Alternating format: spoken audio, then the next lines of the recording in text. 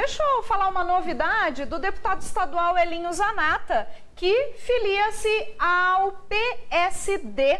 O deputado estadual e vice-presidente da Alesp, Elinho Zanata, filia-se nessa quinta-feira, dia 21, ao Partido Social Democrático, a convite do presidente nacional da sigla, Gilberto Kassab.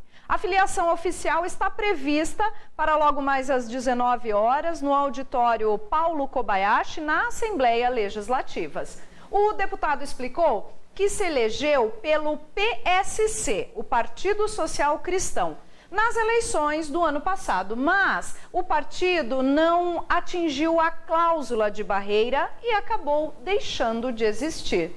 Diante disso, Elinho recebeu o convite de Kassab para retornar ao partido que foi filiado e reeleito prefeito de São Pedro em 2016 para o mandato de 2017 a 2020. Sobre a filiação, Elinho se diz contente, primeiro pelo convite de Kassab e depois por entrar num partido com base nacional e da base do governo Tarcísio de Freitas a quem Kassab é secretário de governo. Segundo Elinho, essa força nacional e também estadual do PSD, que está aliado ao governo de Tarcísio de Freitas, poderá ajudar os municípios da região metropolitana de Piracicaba, nesse momento de sua consolidação. Além disso, a pedido de Kassab, Elinho fará um trabalho de fortalecimento do partido aqui na região metropolitana de Piracicaba e também no estado de São Paulo,